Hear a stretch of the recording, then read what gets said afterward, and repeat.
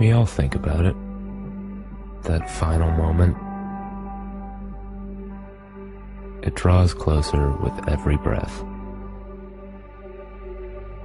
Most people would do anything for just one more moment.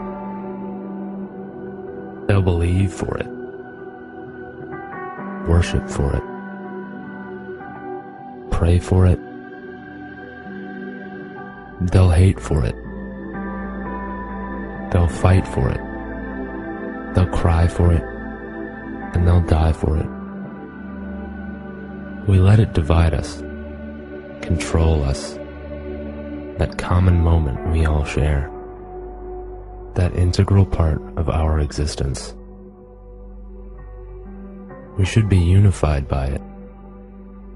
We should live fuller lives because of it.